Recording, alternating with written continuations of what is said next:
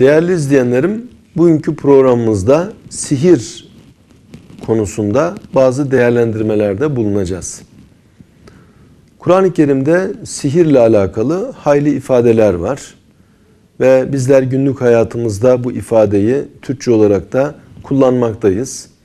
Sihir, sihirbaz bu gibi ifadeler günlük hayatımızda hayli geçer.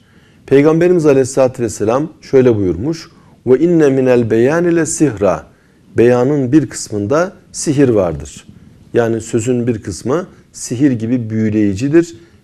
Böyle bir etkiye sahiptir. Sihir dediğimizde e, işte e, insanların gözünü boyamak, bir takım böyle sıra dışı işler yapar görülmek bunlar hatıra geliyor.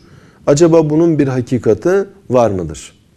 Kur'an-ı Kerim'de Bakara suresinde Harut Marut kıssası anlatılır. Tefsiriyle beraber ifade edilecek olursa bunlar iki melek insanlar için bir imtihan olmak üzere yeryüzüne gönderiliyorlar. Babil'e gönderiliyorlar ve Babil'de insanlara sihir öğretiyorlar. Ancak bunu yaparlarken de innema nahnu fitne biz ancak bir fitneyiz. Yani bir imtihan için buraya gönderildik. Sakın sihri kötüye kullanarak küfre düşmeyin diye insanları uyarıyorlar. Ve e, Kur'an-ı Kerim'deki bu ifadelerden anlaşıldığına göre e, sihrin bir hakikati var. Ve sihir yoluyla insanlar bazı sıra dışı şeyleri yapabiliyorlar. Ve günümüzde de sihirbaz denilen kimseler hakikaten e, bu işin sırrını bilmeyenleri hayrette bırakan, hatta zaman zaman hayran bırakan sıra dışı şeyler yapabiliyorlar. Ala külli hal öyle anlaşılıyor ki sihir diye bir şey var ve bu sihir etki edebilmekte. Ama e, şunu tabi göz, göz ardı etmemek lazım. İlgili ayette de ifade edildiğine göre Allah'ın izni olmadan herhangi bir zarar ver, vermez.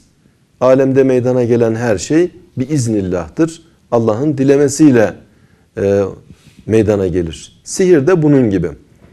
Nasıl ki bir takım ilaçların gerçekten etkileyici ciheti oluyor. İnsan o ilacı kullandığında hangi gaye için kullanılmışsa bunun etkisi görülüyor.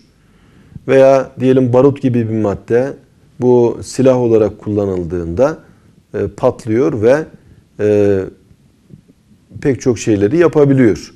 Yani Allahu Teala eşyaya bir takım hususiyetler vermiş. Demek sihirle alakalı da sihrin etkisine izin verilmiş.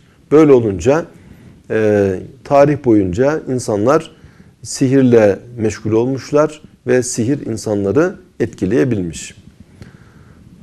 Günümüzde de yine bununla meşgul olanlar var ve e, bir kısmı bunların göz boyaması tarzında, bir kısmı ne sihirdir ne keramet, el çabukluğu, meharet diye anlatıldığı gibi daha çok el çabukluğuyla alakalıdır.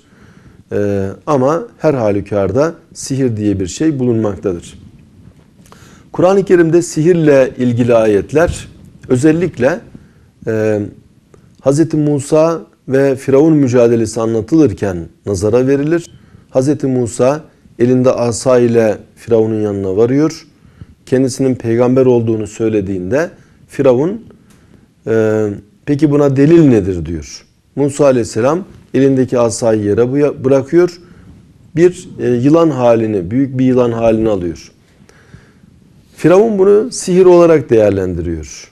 Ve e, benim de diyor sihirbazlarım var. Seni onlarla yarıştırayım. Ve sihirbazları topluyor. Onlar da Hz. Musa'nın yaptığı gibi şeyi yapabilecek durumdalarmış. Ellerinde ipler, değnekler var. İnsanların huzurunda. Önce onlar marifetini gösteriyor. Ellerindeki değnekleri ve ipleri yere bırakıyorlar. Bunlar birer yılan şekline geliyor. Kur'an-ı Kerim bize bunu anlatırken şöyle anlatır. فَاِذَا حِبَالُهُمْ وَاِصِيُّهُمْ Bir de baktı ki Musa onların ipleri ve değnekleri yuhayyelu ileyhi min sihrihim enneha tes'a. Onların sihirlerinden kendisine öyle geldi ki sanki onlar hareket ediyor, koşuyorlar. Seharu ayunennas o sihirbazlar insanların gözüne sihir yaptılar. Vesterhabuhum onları korkutmak istediler ve ca'u bi sihrin azim çok büyük bir sihirle geldiler. Musa aleyhisselam bile bundan korkuyor.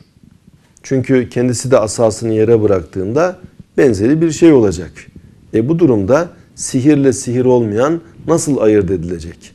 Allahu Teala teminat veriyor. Ya Musa korkma, elindeki asayı yere bırak. Hz. Musa elindeki asayı yere bıraktığında daha büyük bir e, yılan oluyor. Onların yalandan olan yılanlarını tek tek yutuyor. Tekrar eline aldığında sadece kendi asası var.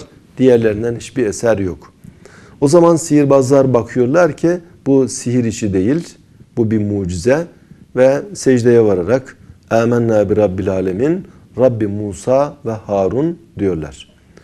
Demek ki eskiden beri sihir var ve eskiden beri insanlar böyle bir şeyle meşgul olmuşlar. Kur'an-ı Kerim bunu reddetmiyor. Günümüzde mesela bir takım harika şeyler var. Elimizdeki e, cep telefonuyla bazı tuşlarına basarak dünyanın ta öbür ucuyla konuşabiliyoruz. Eski zamanda bunu insanlara söylesek biz bu metal parçasıyla sesimizi her tarafa duyuruyoruz. Hatta birbirimizi görüyoruz desek insanlar herhalde inanmazlardı. E, sihir de bunun gibi. Belki bazı insanlar böyle şey mi olur diyebilir ama demek ki böyle şeyler de oluyor. Bunun da Hamdi Yazır'ın ifade ettiği gibi e, müracaat edilebilecek bir kısım sebepleri var. O sebepleri bilenler, müracaat edenler böyle bir şeyi yapabiliyorlar. Ancak bunları ben ifade ederken şunu da e, söylemem e, söylememde fayda var. Kötü yönde sihir kullanmak bu büyük günahlardandır. Ama birisi diyelim iki kişinin arasını bozacak şekilde sihir yaptı, büyü yaptı. E, bunu iptal etmek için sihre müracaat etmek meşrudur. Bu bir savunma gibidir. Ve eğer gerçekten bu işi bilen varsa onun tecrübesinden bu noktada istifade edilebilir. Ancak şu da bir realite, şu da göz ardı edilmez bir durum ki e, günümüzde bu işle meşgul olanların bir kısmı daha çok şarlatanlık yapıyor. Ve e, faydalı olmaktan ziyade kendi e, keselerini doldurma tarzında bunu bir ticari rant haline getirmişler. Buna da dikkat etmek gerekir.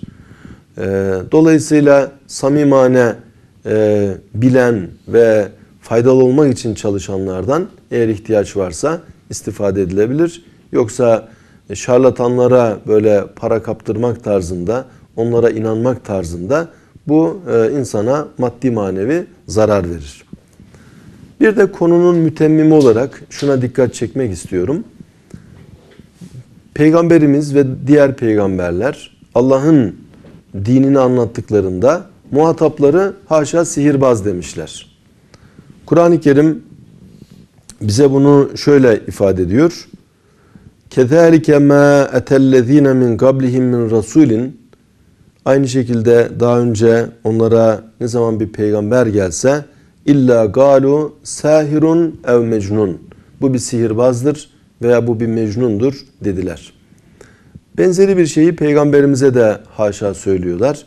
Haşa sihirbaz diyorlar, haşa mecnun diyorlar, şair diyorlar. Bu gibi iftiralarla peygamberin davasını redde çalışıyorlar. Bir de konumuzla alakalı başka bir nokta mucizelere sihir denilmesi. Kur'an bize bunu şöyle anlatıyor. Ve in yerav aye eğer onlar bir ayet görse, bir mucize görse e, yu'ridu yüz çevirirler ve yekulu sihrun mustemir bu devam ede gelen bir sihirdir derler. Rivayete göre bu e, Peygamberimiz Aleyhisselatü Vesselam'ın bir parmağın işaretiyle ayı ikiye bölme olayında e, yaşanıyor. Ayın ikiye bölündüğünü müşrikler görüyorlar ama kendilerini ve etrafındakileri kandırmak için buna sihir diyorlar. Yani haşa bu bir sihir değil, mucize. Ve e, mucize Allah'ın fiilidir. E, Allah'ın alemdeki bütün icraatları, akılları hayrette bırakır bir şekildedir. Ama mucize gibi olaylarda daha bir sıra dışılık vardır. Bundan dolayı da e, peygamberin davasına bu bir delil olarak gelmektedir.